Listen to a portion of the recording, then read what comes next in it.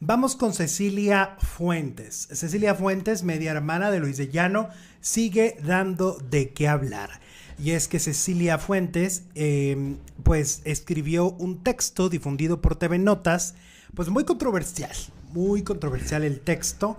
Em, pues le preocupa que la depresión que sufre eh, Luis de Llano eh, pueda llevarlo a la muerte. Ahí está aventado mi hermano ahorita, a la muerte. Mientras todos disfrutan la matanza. Él ya nunca recuperará ni su credibilidad ni sus grandes logros profesionales. Lo han enjaulado en un espacio muy pequeño, amarrado a un ancla que es aventada a un mar sin fondo. Y eso no se vale. La justicia es la justicia y si ustedes piden justicia, realmente dense cuenta de cómo fueron las cosas. Ya es muy tarde para corregir nada, pero por lo menos no sigan empeorándolo. Se lee en la parte inicial que redactó la escritora. Admitió tener diferencias con Luis, pero en el, pleno, en el plano familiar y laboral. Además descartó totalmente las versiones que apuntan a que el creativo también habría sido su abusador de su propia media hermana. Luis de Llano no es un diamante ni una monedita de oro, pero sí es un hombre trabajador y luchador que jamás ha abusado de nadie, y mucho menos de mí, a un nivel sexual. Eso es una locura y lo mismo que buscarle ocho patas al gato. Mis diferencias con él son puramente familiares y laborales, de las cuales tal vez hablaré algún día, pero no ahorita en que buscan crucificarlo hasta por la ayuda que se comió ayer. Em, dice em, la autora del libro de Mujer en Papel, dice que la relación sentimental entre Sasha y Luis se dio en términos de consenso, incluso señaló que el noviazgo estaba bendecido por los padres de la cantante. Él nunca ha necesitado pagar o comprar o amenazar a las mujeres que le han interesado. Todo lo contrario, Todas sus relaciones han sido de consentimiento mutuo. Es un hombre que con sus parejas y la gente que ama es adorable, incondicional y generoso. Es un trabajador incansable, un visionario como hay pocos en nuestro país. Ha hecho carreras increíbles de un montón de gente que, que ahora le dan la espalda por conveniencia. Creo que ambos se merecen una plática, si no es en persona, por lo menos legal, donde se perdonen y acuerden no seguir con esta matanza ridícula que no lleva a nada. Ella estará protegida por siempre por todos los humanos que no pueden entender que un hombre y un adolescente entablaran una relación consensuada, hermosa, como jovencitos enamorados y perdidamente embelesados. Lástima que, la, que él no era el jovencito y ella era la jovencita. Hubiera sido una relación hermosa si hubiera sido con Benny o con Diego o con el que le pongas de ahí, ¿no? Qué terrible eh, escuchar. El machismo, Y leer a una mujer, sí, con un pensamiento muy, muy complejo. Eh, claro que todos podemos pensar diferentes.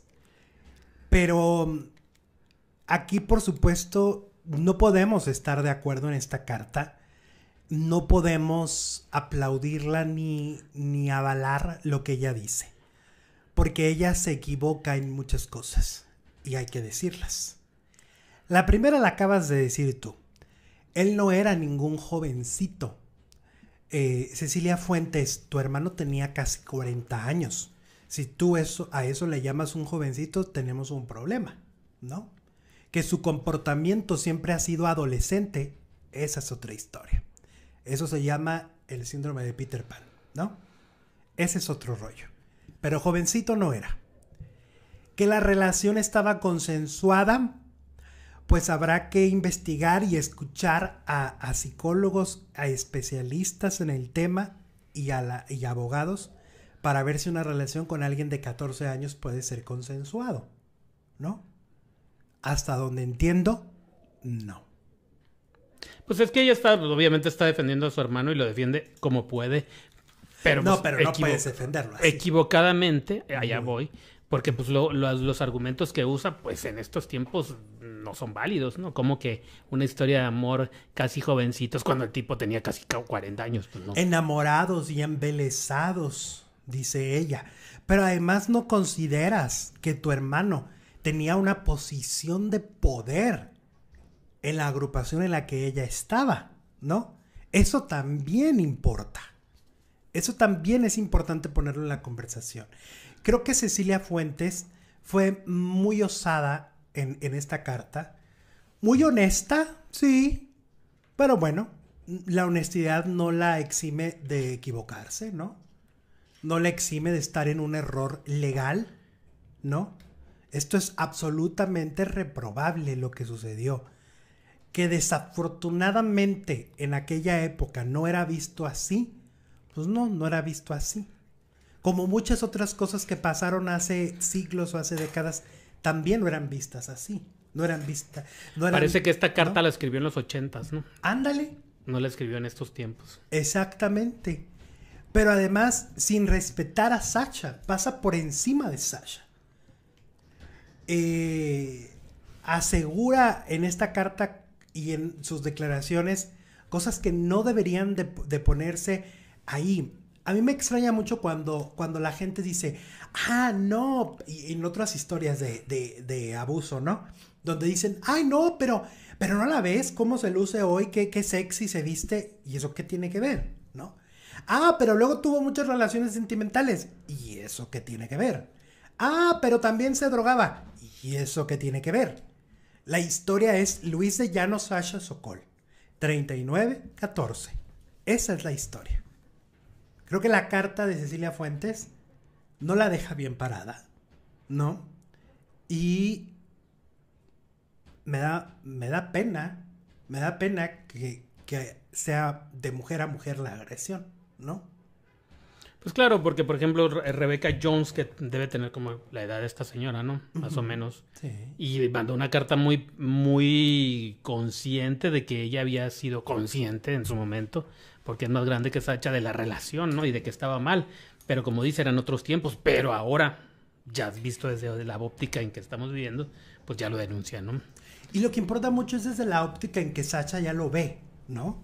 O sea, si, si, si Sasha está haciendo una carta donde dice, esto pasó por aquello y esto y esto, habla de que sus padres, eh, eh, este, no estaban en desacuerdo, dice Cecilia. Que era consensuado. Pero es que eso en la carta se explica, ¿no? No, no dice, no hay que decir padres porque el papá el, este, adoptivo le da la espalda, ¿no? Y la mamá primero no sabe y después tiene que ceder a cambio de, pues, de que Sasha le platique las cosas y no se las siga escondiendo. ¿no? Pero además cuando ella ya se entera, ya Sasha tenía 17 años. Se entera tres años después. Entonces, sí, sí está, está muy fuerte esta carta, ¿no? Sí es, sí es muy fuerte. Julisa no ha hablado. Julisa no ha contado nada. Eh, pero bueno, esta media hermana decidió hablar. Pues mejor que no hubiera hablado. que no la ayudes, compadre. bueno, tenía que defender a su hermano, pero pues no sé. ¿Pero por qué tenía que? ¿Eh? ¿Pero por qué tenía que? Pues porque su hermana y es la obligación de los hermanos defender a otro hermano. Pues es lo que nos han hecho creer, ¿no? Es ¿Eh? una creencia más bien que, que, tienes que estar Bueno, pues ella lo cree y ella lo tenía que hacer y lo hizo. y lo hizo. Pero bueno, ahora, eh, y no es de o sea, que quede claro que no estoy diciendo linchémosla, ah, vayamos a sus redes a decirle tal cosa.